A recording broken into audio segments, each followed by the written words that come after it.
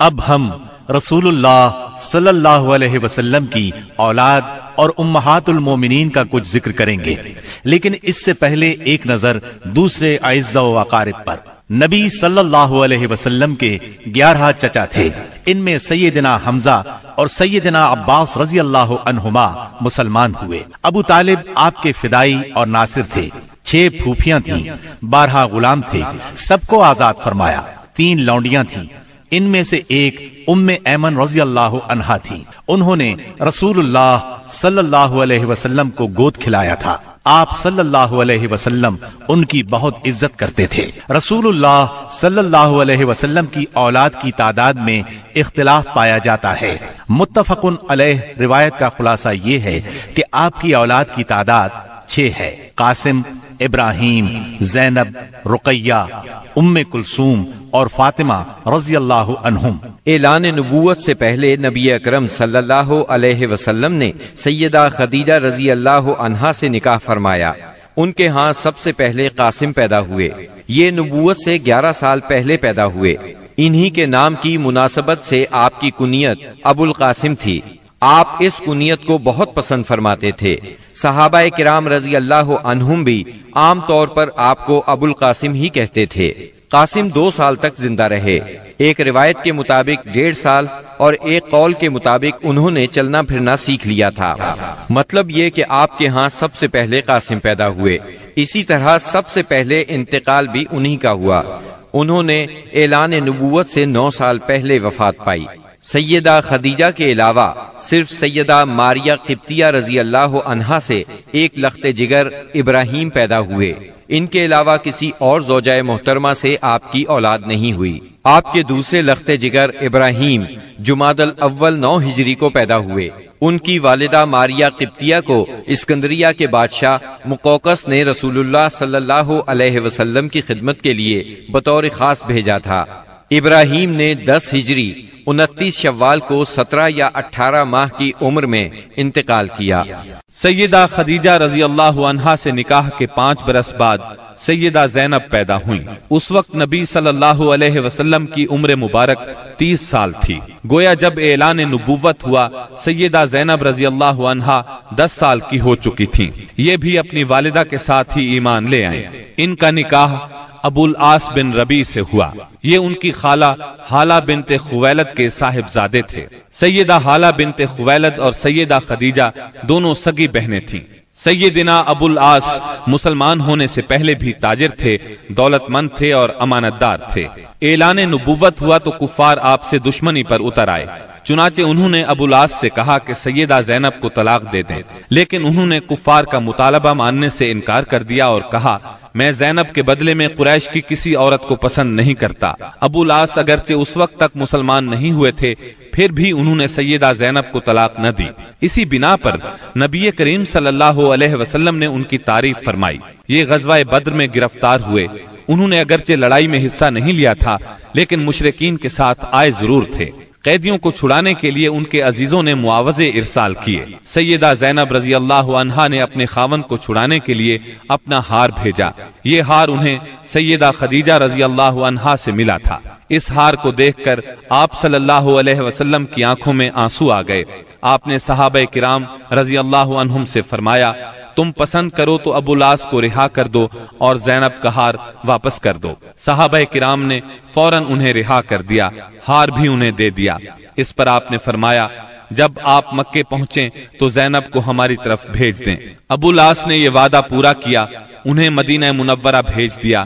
हिजरत के दौरान में हिबार बिन असवद ने उन्हें रोकने की कोशिश की, कुफार ने उनकी मदद की। इस कश्मकश में सैयदा जैनब जख्मी भी हुई। ताहम आप मदीना मुनव्वरा पहुँच गईं। इसी बुनियाद पर नबी करीम सल्लल्लाहु अलैहि वसल्लम ने उनके बारे में इरशाद फरमाया मेरी बेटियों में सबसे अफजल जैनब है। उसे मेरी वजह से मुसीबत में मुबतला होना पड़ा और अजियत में मुबतला किया गया। हिबार बिन असवद, जिन्होंने सैयदा जैनब को रोकने की कोशिश की थी, फतेह मक्का के मौके पर मुसलमान हुए और नबी करीम वसल्लम ने उनका ये कसूर मुआफ कर दिया। सैयदा जैनब रज़ी अल्लाह के यहाँ अबुल आस रज़ी अल्लाह से एक लड़का और एक लड़की पैदा हुए। लड़के का नाम अली और लड़की का नाम उमामा रखा गया। इन दोनों की परवरिश रसूलुल्लाह सल्लल्लाहु अलैहि वसल्लम ने फरमाई। अली बचपन में फौत हुए। आपको उमामा से बहुत मोहब्बत थी। एक हार बतौर हदिया आपके पास आया। आपने फरमाया, ये हार मैं अपने अहले बैत में से उसे दूँगा, जो मुझे सबसे ज़्यादा पसंद है। चुनाचे आपने वो हार उमामा को दे दिया। बारह हिजरी में सैयदा उमामा से सैयदना अली रज़ी अल्लाह अनहो ने निकाह किया, क्योंकि उस वक्त तक सैयदा फातिमा वफात पा चुकी थी। सैयदना अली रज़ी अल्लाह अनहो की शहादत के बाद मुगीरा बिन नौफल से उनका निकाह हुआ। इन्हीं के निकाह में ये फौत हुई। अबू रज़ी अल्लाह अनहो के मुसलमान होने के बाद नबी सल्लल्लाहु अलैहि वसल्लम ने सैयदा जैनब को पहले निकाह में दोबारा उनके घर रुखसत फरमाया। इसके कुछ ही अरसे बाद आठ हिजरी में सैयदा जैनब इंतकाल कर गई इन्ना लिल्लाहि व इन्ना इलैहि राजिऊन। सैयदा जैनब के बाद सैयदा खदीजा रज़ी अल्लाह अनहा के यहाँ सैयदा रुकैया पैदा हुई। ये उनसे तीन साल बाद पैदा हुई। उनकी पैदाइश के वक्त नबी अक्रम वसल्लम की उम्र तैतीस साल थी। गोया एलान नबूवत के वक्त उनकी उम्र सात साल थी। ये भी अपनी वालिदा के साथ ही ईमान ले आई इस्लाम से पहले रसूलुल्लाह सल्लल्लाहु अलैहि वसल्लम ने इनका निकाह अपने चचा अबू लहब के बेटे उत्बा से कर दिया था। रुखसती नहीं हुई थी। आपने नबूवत का ऐलान फरमाया तो अबू लहब दुश्मनी में सबसे आगे बढ़ गया। उसने बेटे को हुक्म दिया, मोहम्मद की बेटी को तलाक दे दो। तलाक नहीं दोगे तो तुमसे बात नहीं करूँगा। बाप के कहने पर उसने सैयदा रुकैया रज़ी अल्लाह को तलाक दे दी। यानी ये तलाक सिर्फ़ इस्लाम दुश्मनी की बुनियाद पर दी गई थी। इसके बाद आपने सैयदा रुकैया रज़ी अल्लाह का निकाह सैयदना उस्मान रज़ी अल्लाह अनहो से कर दिया। सैयदा रुकैया ने सैयदना उस्मान बिन अफ़ान रज़ी अल्लाह अनहो के साथ हबशा की हिजरत भी की और ये इस्लाम में सबसे पहली हिजरत थी। हबशा में उनके यहाँ एक बेटा पैदा हुआ, उसका नाम अब्दुल्ला रखा गया। अपने वालिदैन के साथ हिजरत करके ये नवासा रसूल मदीना मुनवरा पहुँचे और छह साल की उम्र में वफात पा गए। दो हिजरी में गजब बद्र पेश आया तो सैयदा रुकैया बीमार थी। सैयदना उस्मान रज़ी अल्लाह उनकी तीमारदारी की खातिर गजब बद्र में शिरकत न कर सके। ताहम नबी करीम सल्लल्लाहु वसल्लम ने उन्हें माल गनीमत में से हिस्सा अता फरमाया। गजब बद्र के दौरान में ही सैयदा रुकैया इंतकाल कर गई यानी जब आप बद्र के मैदान मैदान से वापस तशरीफ़ लाए तो ये दुनिया से रुखसत हो चुकी थी। आप उनके जनाजे में भी शरीक न हो सके। अलबत्ता कब्र पर तशरीफ़ ले गए। सैयदा रुकैया ने करीबन 21 साल की उम्र में वफात पाई। इन्ना लिल्लाह व इन्ना राजिऊन। सैयदा उम्मे कुलसूम रज़ी अल्लाह नबी करीम सल्लल्लाहु अलैहि वसल्लम की तीसरी साहिबजादी हैं। ये अपनी कुनियत ही से मशहूर हुई। आपने नबूवत का ऐलान फरमाया तो वालिदा और बहनों के साथ ईमान लाई। हिजरत तक मक्के में रहीं। ऐलान नबूवत से पहले आपने उनका निकाह अबू लहब के दूसरे बेटे उतैबा से कर दिया था। रुखसती नहीं हुई थी। इस्लाम लाने पर अबू लहब ने उन्हें भी तलाक दिलवाई। गजवा बद्र के मौके पर जब सैयदा रुकैया का इंतकाल हो गया तो सैयदना उस्मान पर उनकी वफात का बहुत असर हुआ। हर वक्त गमगीन रहते थे। आपने उन्हें इस दर्जे गमगीन देखकर एक रोज फरमाया ए उस्मान, मुझे अल्लाह ने हुक्म दिया है कि मैं अपनी दूसरी बेटी आपके निकाह में दे दूँ। जो महर रुकैया का मुकर्र हुआ था, उतना ही महर उम उम्मे कुलसूम का हुआ। इस तरह सैदना उस्मान रज़ी अल्लाह अनहो से उनका निकाह हुआ और आप जुलनौरैन कहलाए, यानी दो नूरों वाले। ये निकाह रबीउल अव्वल तीन हिजरी में हुआ। उम्मे कुलसूम के यहाँ कोई औलाद नहीं हुई। जब तक सैयदा उम्मे कुलसूम, सैयदना उस्मान के निकाह में रही, उन्होंने किसी और औरत से निकाह नहीं किया। सैयदा उम्मे कुलसूम का इंतकाल भी नबी सल्लल्लाहु अलैहि वसल्लम की ज़िंदगी में हुआ। उन्होंने शाबान नौ हिजरी में रहलत फरमाई। उनके इंतकाल पर सैयदना उस्मान रज़ी अल्लाह अनहो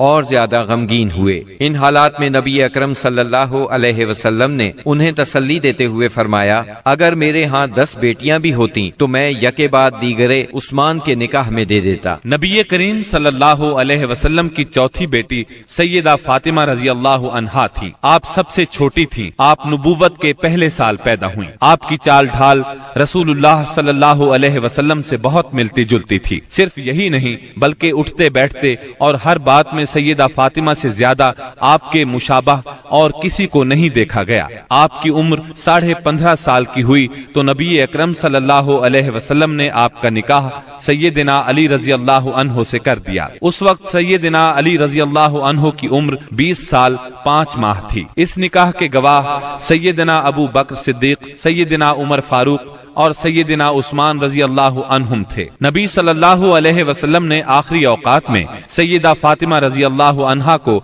बहुत वसीयतें फरमाई। उनमें से एक ये थी, मेरी वफात पर मातम न करना, चेहरे को न पीटना, बाल न नोचना, नौहा न करना, न नौहा करने वालों को बुलाना। नबी सल्लल्लाहु अलैहि वसल्लम की वफात के बाद आप सिर्फ़ छह माह ज़िंदा रहीं, फिर चंद रोज बीमार रहकर वफात पा गई इंतकाल, तीन रमज़ान, ग्यारह हिजरी बरोज मंगल हुआ। इन्ना व इन्ना इलैहि राजिऊन। रसूलुल्लाह सल्लल्लाहु ने आपके बारे में फरमाया फातिमा मेरे जिस्म का टुकड़ा है। जिसने फातिमा को नाराज़ किया, उसने मुझे नाराज़ किया। इसी तरह आपको सैयदा फातिमा रज़ी अल्लाह अनहा की औलाद, सैयदना हसन बिन अली और सैयदना हुसैन बिन अली से बहुत मोहब्बत थी। अल्लाह ताला की सैयदा फातिमा पर हज़ार हा रहमतें हों। अब हम नबी अकरम सल्लल्लाहु अलैहि वसल्लम की अजवाज मुतहरात का तस्करा करेंगे। नबी सल्लल्लाहु अलैहि वसल्लम की सबसे पहली जौजा मोहतरमा सैयदा खदीजा बिनते खुवैलद रज़ी अल्लाह अनहा हैं।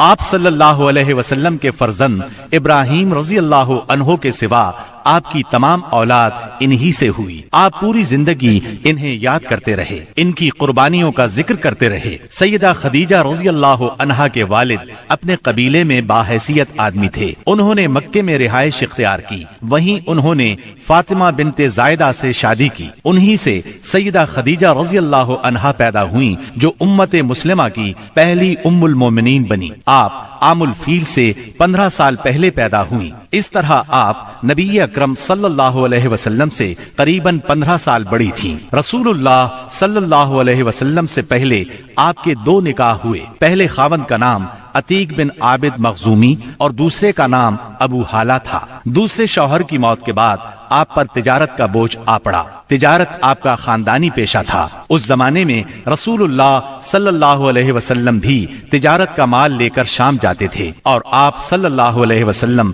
सादिक और अमीन मशहूर हो चुके थे। सैयदा तक आपकी शोहरत पहुँची तो उन्होंने अपना सामान तिजारत आपके हवाले किया। आप वो सामान शाम ले गए। इस सफ़र में उन्हें बहुत ज़्यादा मुनाफा हुआ। इस तरह सैयदा खदीजा रज़ी अल्लाह अनहा आपसे बहुत ज़्यादा मुतासर हो गईं और आपने नबी अकरम सल्लल्लाहु को निकाह का पैगाम दिया। आपने उनका पैगाम मंजूर फरमा लिया। निकाह अबू तालिब ने पढ़ाया। उस वक्त रसूलुल्लाह सल्लल्लाहु की उम्र 25 साल और सैयदा की उम्र 40 साल थी। 40 साल की उम्र में अल्लाह ताला ने आपको नबूवत से सरफराज फरमाया। आप पर पहली बार वही का नजूल हुआ तो आप घबरा गए। आप पर कपकपी तारी हो गई। इन हालात में सैयदा खदीजा ने आपको बहुत सहारा दिया और अपने चचाजाद भाई वरका बिन नौफल के पास ले गईं। ये सबका आसमानी कुतुब के आलिम थे। उन्होंने बताया कि आप पर वही फरिश्ता उतरा है जो मूसा अलैहिस्सलाम पर उतरा था। यानी अल्लाह ने आपको नबूवत से सरफराज फरमाया है। इसके बाद आपने अल्लाह के हुक्म से नबूवत का बाकायदा ऐलान फरमाया तो सैयदा खदीजा ने फ़ौरन इस्लाम कबूल कर लिया सैयदा खदीजा रज़ी अल्लाह अनहा ने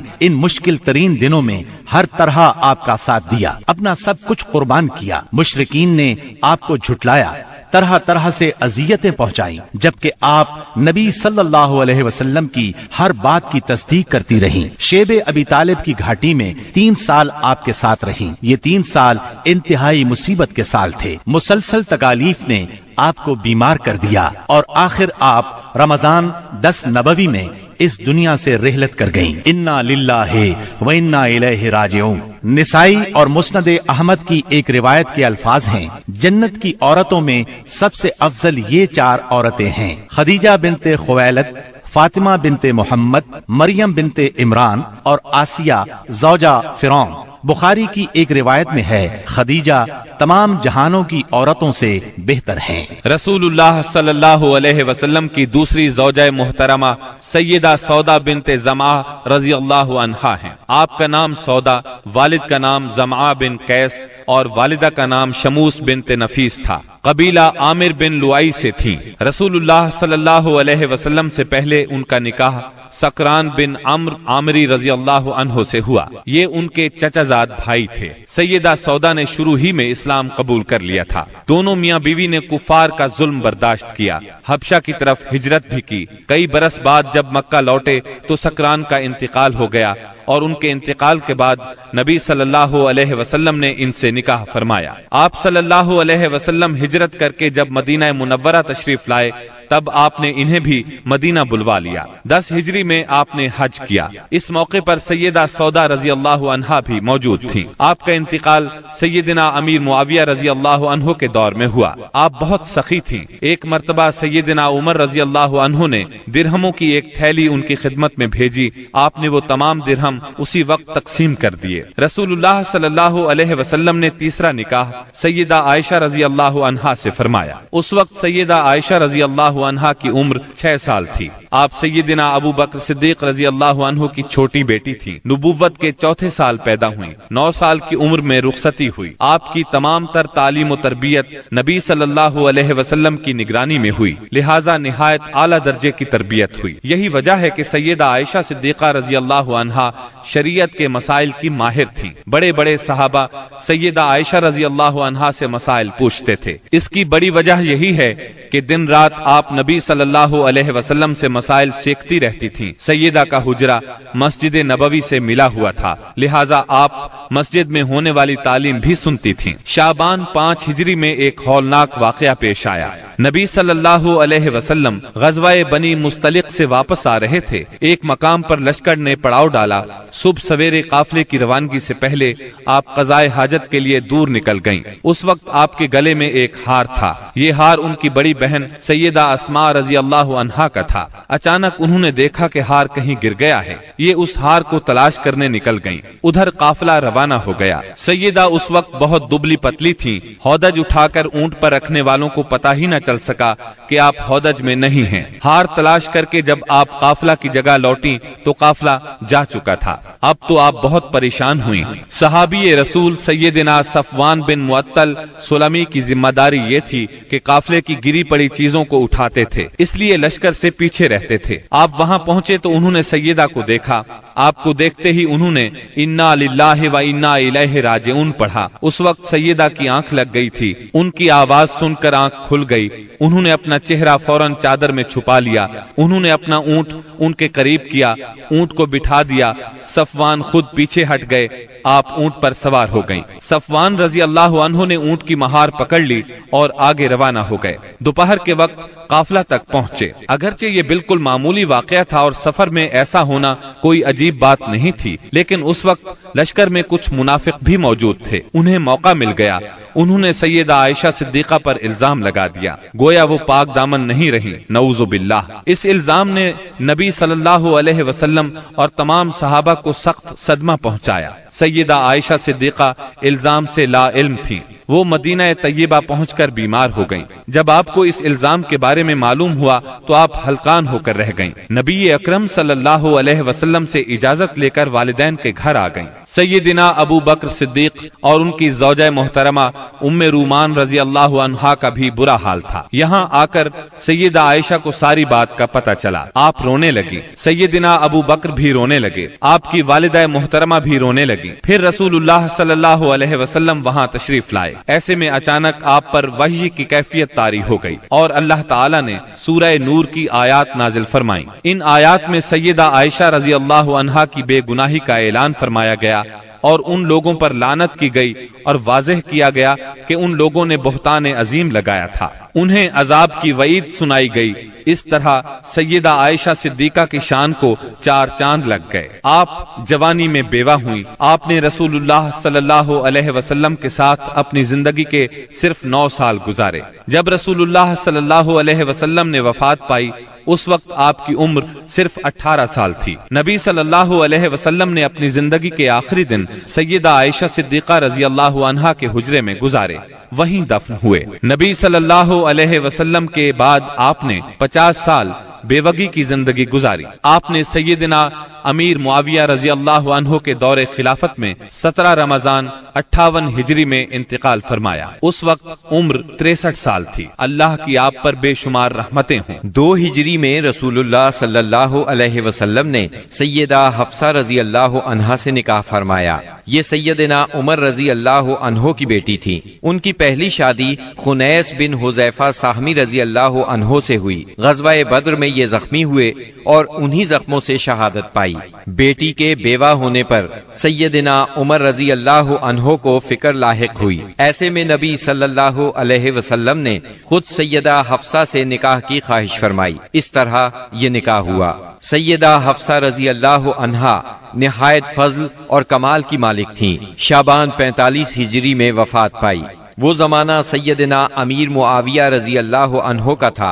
आपकी कुछ जायदाद थी। वफात से पहले अपने भाई अब्दुल्ला बिन उमर रज़ी अल्लाह अनहो को वसीयत की कि इस ज़मीन को सदका कर देना। अल्लाह ताला की उन पर हज़ार हा रहमतें हों। रसूलुल्लाह सल्लल्लाहु अलैहि वसल्लम ने एक निकाह सैयदा जैनब बिनते खुजैमा रज़ी अल्लाह अनहा से फरमाया। ये बहुत ज़्यादा सखी थी। इसलिए इनकी कुनियत उम्मुल मसाकिन मशहूर हुई। बहुत रहमदिल भी थी। फुकरा और मसाकिन को फयाजी से खाना खिलाती थी। इनका पहला निकाह सैयदना अब्दुल्ला बिन जहश से हुआ। ये जलील कद्र सहाबी थे। बहुत बहादुर थे। गजवा उहुद में शहीद हुए। उनकी शहादत के बाद नबी सल्लल्लाहु अलैहि वसल्लम ने उम्मुल मोमिनीन सैदा जैनब से निकाह फरमाया। रसूलुल्लाह सल्लल्लाहु अलैहि वसल्लम से निकाह के वक्त आपकी उम्र तीस साल के करीब थी। निकाह के सिर्फ़ तीन माह बाद आप इंतकाल कर गईं।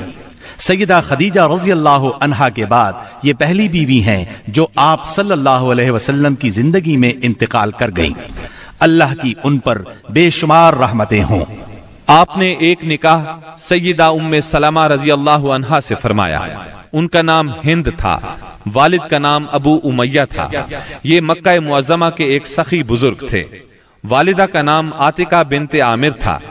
आपका पहला निकाह अब्दुल्लाह बिन अल असद से हुआ। ये अबू सलामा के नाम से मशहूर थे। उम्मे सलामा के चचाजाद और नबी सल्लल्लाहु अलैहि वसल्लम के रिजाई भाई थे। इस्लाम की इब्तदा ही में दोनों मियाँ बीवी ने इस्लाम कबूल कर लिया। दोनों को मक्का से हबशा की हिजरत का शरफ भी हासिल हुआ।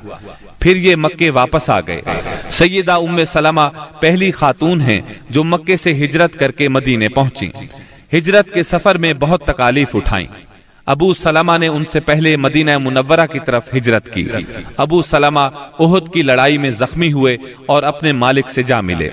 जब उम्मे सलामा रज़ी अल्लाह अनहा की इद्दत पूरी हो गई तो रसूलुल्लाह सल्लल्लाहु अलैहि वसल्लम की तरफ़ से उन्हें निकाह का पैगाम मिला। आपने मंजूर फरमाया, इस तरह ये निकाह हुआ। आप चार हिजरी में हरम नबवी में दाखिल हुई। पूरी ज़िंदगी आप सल्लल्लाहु अलैहि वसल्लम के साथ रही। आपकी तारीख वफात में इख्तिलाफ पाया जाता है। ज़्यादातर रिवायात यह हैं कि आपने तिरसठ हिजरी में चौरासी साल की उम्र में वफात पाई। आप बहुत ज़्यादा खूबसूरत थीं, बहुत फजाइल की मालिक थीं। इल्म के लिहाज से भी उनका मुमताज़ मकाम है। लोग उनसे मसाइल पूछा करते थे कुरान और सुन्नत की माहिर थीं और फिकह पर भी उबूर रखती थीं। मुत्तकी और परहेजगार इतनी थीं कि शरीयत की खिलाफ वर्जी कतान बर्दाश्त नहीं करती थीं। अल्लाह की उन पर बेशुमार रहमतें हों। रसूलुल्लाह सल्लल्लाहु अलैहि वसल्लम ने एक निकाह सैयदा जैनब बिनते जाहश रज़ी अल्लाह अनहा से फरमाया। आपका नाम बर्रा था। वालिद का नाम जहश और वालिदा का उमैमा था। ये अब्दुल मुत्तलिब की साहिबजादी थी। इस तरह सैयदा जैनब नबी सल्लल्लाहु अलैहि वसल्लम की सगी फूफी की बेटी थी। उमैमा अब्दुल्ला की सगी बहन और रसूलुल्लाह सल्लल्लाहु अलैहि वसल्लम की फूफी थी। सैयदा जैनब सबसे पहले ईमान लाने वालों में शामिल हैं। फिर सबसे पहले हिजरत करने वालों में भी शरीक हैं। रसूलुल्लाह सल्लल्लाहु अलैहि वसल्लम ने आपका नाम बर्रा से तब्दील करके जैनब रखा था। नबी सल्लल्लाहु अलैहि वसल्लम के निकाह में आने से पहले आपका निकाह सैयदना जैद बिन हारिसा रज़ी अल्लाह अनहो से हुआ। ये रसूलुल्लाह सल्लल्लाहु अलैहि वसल्लम के मुँह बोले बेटे और आज़ाद करदा गुलाम थे। लेकिन इन दोनों की आपस में न निप सकी और तलाक हो गई। तब उनकी इद्दत के बाद नबी अकरम सल्लल्लाहु अलैहि वसल्लम ने खुद उनसे निकाह का इरादा फरमाया। उन्हें निकाह का पैगाम भेजा। सैयदा जैनब ने मंजूर किया। इस पर मुनाफिकीन ने ताना दिया कि देखो, पैगंबर ने खुद अपने बेटे की औरत से निकाह कर लिया। अल्लाह ताला ने इन बदबातिनों के रद में आयत खातमुन नबीन नाजिल फरमाई। मोहम्मद सल्लल्लाहु अलैहि वसल्लम, तुम्हारे मर्दों में से किसी के बाप नहीं, लेकिन वो अल्लाह के रसूल और खातमुन नबीन हैं। और अल्लाह ताला हर चीज़ का खूब इल्म रखने वाला है। इस आयत से ये बात वाजे हुई कि मुँह बोले बेटे की बीवी से निकाह करना जायज़ है। इस तरह मुनाफिकीन के मुँह बंद हो गए। ये निकाह चार हिजरी में हुआ। इस निकाह की खास बात यह है कि इस मौके पर पर्दे का हुक्म नाजिल हुआ। निकाह के लिए वही आई। ये निकाह आसमानों पर हुआ। सूरह अहजाब की आयत सैतीस, सैयदा जैनब के बारे में नाजिल हुई।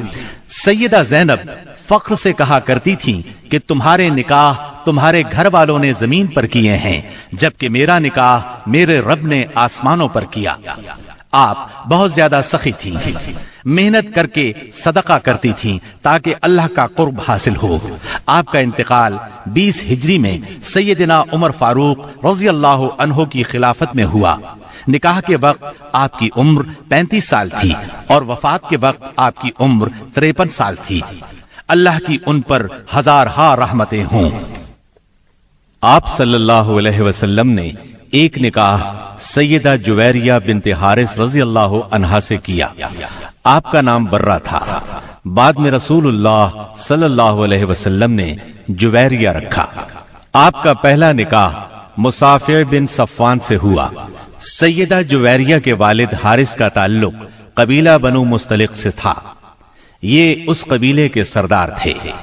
इन लोगों ने मदीना मुनव्वरा पर हमले की तैयारियाँ की। तो नबी सल्लल्लाहु अलैहि वसल्लम ने उन पर चढ़ाई कर दी। इस लड़ाई में उनके कबीले के ग्यारह मर्द कत्ल हो गए। बाकी लोग गिरफ़्तार कर लिए गए। गिरफ़्तार शुदगान में सैयदा जुवैरिया भी थी। माल गनीमत की तकसीम में ये सैयदना साबित बिन कैस रज़ी अल्लाह अनहो के हिस्से में आई। लेकिन उन्होंने लौंडी की हैसियत से रहना मंजूर न किया। और साबित बिन कैस से उजरत तय कर ली इस सिलसिले में मदद के लिए नबी करीम सल्लल्लाहु अलैहि वसल्लम के पास आई तो आप सल्लल्लाहु अलैहि वसल्लम ने निकाह की ख्वाहिश ज़ाहिर फरमाई। सैयदा जुवैरिया रज़ी अल्लाह अनहा रजामंद हो गई। बाप उन्हें मुआवजा देकर छुड़ाने आया तो उन्होंने बाप के साथ जाने से इनकार कर दिया। इस तरह बाप ने भी इस्लाम कबूल कर लिया। सहाबा किराम को जब मालूम हुआ कि अल्लाह के रसूल सल्लल्लाहु अलैहि वसल्लम ने सैयदा जुवैरिया रज़ी अल्लाह को अपनी जौजियत में ले लिया है तो उनके कबीले के सब लोगों को आज़ाद कर दिया। इस तरह सैदा अपने कबीले के लिए बहुत बाबरकत साबित हुई। उनकी वजह से पूरे सौ घराने आज़ाद हुए। जब आप नबी अकरम अलैहि वसल्लम के निकाह में आई, उस वक्त आपकी उम्र 20 साल थी। वफात के वक्त उम्र पैंसठ साल थी। आपने रबीउल अव्वल 50 हिजरी में इंतकाल फरमाया। आपने निहायत सादा और जाहिदाना ज़िंदगी बसर की। अल्लाह की उन पर बेशुमार रहमतें हों। आपने एक निकाह सैयदा उम्मे हबीबा रज़ी अल्लाह से फरमाया। ये सैयदना अबू सुफियान रज़ी अल्लाह अनहो की बेटी थी।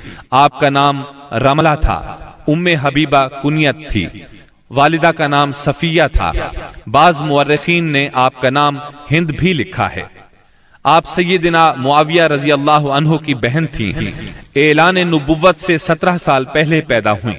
शुरू ही में मुसलमान हो गई थी। इनका पहला निकाह अब्दुल्लाह बिन जहश से हुआ था। दोनों मियाँ बीवी साथ ही मुसलमान हुए। दोनों ने हबशा की हिजरत की। बदकिस्मती से हबशा में अब्दुल्लाह बिन जहश मुर्तद हो गया। उसने ईसाइत कबूल कर ली। शराब पीने लगा। इसी हालत में मर गया। इद्दत पूरी हो गई तो नबी सल्लल्लाहु अलैहि वसल्लम ने नज्जाशी के ज़रिए से निकाह का पैगाम भेजा। उन्होंने मंजूर किया।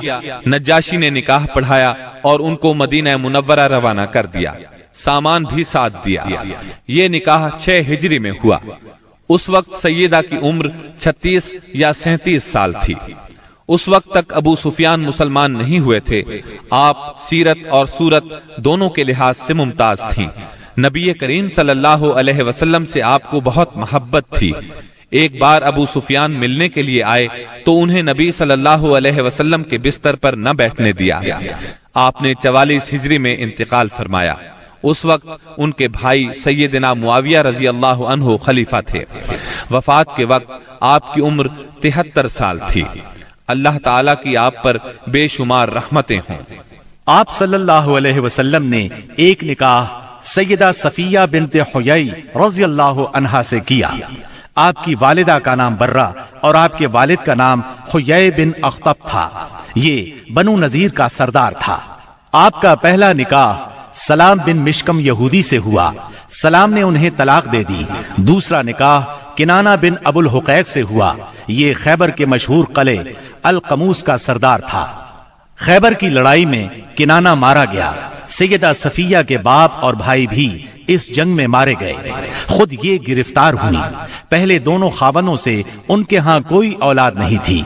माले गनीमत तकसीम हुआ तो ये देहिया कलबी रज़ी अल्लाह के हिस्से में आई। लेकिन सहाबा ने नबी सल्लल्लाहु अलैहि वसल्लम को मशवरा दिया कि सफिया खुद आपके शायान शान है। आपने दहिया कलबी रज़ी अल्लाह अनहो को उनके बदले एक दूसरी लौंडी दे दी और सैयदा सफिया को आज़ाद करके उनसे निकाह कर लिया। ये सात हिजरी का वाकया है। आपने उनसे खैबर ही में निकाह किया। सैयदा सफिया ने पचास हिजरी में वफात पाई। उस वक्त उम्र साठ साल थी। आपका कद छोटा था, लेकिन हसीन और जमील थी। आप भी आलिम फाजिल थी। औरतें आपसे मसाइल पूछा करती थीं। सैयदा सफिया को रसूलुल्लाह सल्लल्लाहु अलैहि वसल्लम से बहुत मोहब्बत थी। जब सैयदना उस्मान रज़ी अल्लाह को बागियों ने घेरा तो सैयदा सफिया रज़ी अल्लाह अनहा ने उनकी बहुत मदद की। ज़रूरत की चीज़ें उनके घर पहुंचाती रहीं। अल्लाह ताला की उन पर बेशुमार रहमतें हों। आप सल्लल्लाहु अलैहि वसल्लम ने एक निकाह सैयदा मैमूना बिनते हारिस रज़ी अल्लाह अनहा से किया। इनका नाम बर्रा था। आपने मैमूना रखा। वालिद का नाम हारिस बिन हुस्न और वालिदा का हिंद बिनते औफ था। आप सैयदना इब्ने अब्बास और सैयदना खालिद बिन वलीद रज़ी अल्लाह अनहुमा की हकीकी खाला थी, क्योंकि उनकी बड़ी बहन लुबाबतुल कुबरा सैयदना अब्बास रज़ी अल्लाह अनहो की जौजा और इब्ने अब्बास की माँ थी। दूसरी बहन लुबाबत सोरा वलीद बिन मुगीरा की बीवी और खालिद बिन वलीद रज़ी अल्लाह अनहो की माँ थी। आपका पहला निकाह जाहिलियत के जमाने में हुआ। इनके खावन का नाम मसूद बिन अम्र सकफी था। दोनों में अलाहिदगी हो गई। इसके बाद आपका निकाह अबू रोहम बिन अब्दुल उज्जा से हुआ। अबू रोहम सात हिजरी में फौत हो गया। शव्वाल सात हिजरी में ही आप रसूलुल्लाह सल्लल्लाहु अलैहि वसल्लम के निकाह में आई। इन्होंने खुद अपने आप को निकाह के लिए पेश किया था। इस बारे में सूरह अहजाब की आयत पचास नाजिल हुई। ए नबी, आपके लिए वो बा ईमान औरत हलाल है जो अपना नफ्स हिबा कर दे। ये इस सूरत में कि नबी भी उससे निकाह करना चाहे। ये खास तौर पर आप ही के लिए है, मोमिनों के लिए नहीं। रिवायात के मुताबिक ये निकाह उमरतुल कजा के मौका पर, शरीफ के मकाम पर हुआ। रसूलुल्लाह सल्लल्लाहु अलैहि वसल्लम उम्रे की गरज से निकले थे। फिर सैयदा मैमूना आपके साथ मदीना तैयबा आ गईं। इकसठ हिजरी में शरीफ ही के मकाम पर आपका इंतकाल हुआ। तमाम उम्महातुल मोमिनीन में सबसे आखिर में यही फौत हुई। रसूलुल्लाह सल्लल्लाहु अलैहि वसल्लम ने सैयदा मारिया किप्तिया को भी अपने हरम में दाखिल फरमाया। उनके वालिद का नाम शमून और वालिदा का नाम रूमिया था। सैयदा मारिया को मिस्र के बादशाह मुकौकस ने सात हिजरी में आपकी खिदमत में बतौर हदिया भेजा था। उनके साथ उनकी बहन सीरीन भी बतौर हदिया आई थी। सैयदा मारिया बहुत हसीन जमील थी। आप सल्लल्लाहु अलैहि वसल्लम ने उन्हें बालाखाने में ठहराया। इन्हीं से आपके यहाँ सैयदिना इब्राहिम पैदा हुए। ये सत्रह या अठारह माह की उम्र में इंतकाल कर गए। सैयदा मारिया रज़ी अल्लाह अनहा ने सैयदिना उमर रज़ी अल्लाह अनहो के जमाने में इंतकाल फरमाया। जन्नतुल बकी में दफन हुई। अल्लाह ताला की उन पर हज़ार हा रहमतें हुई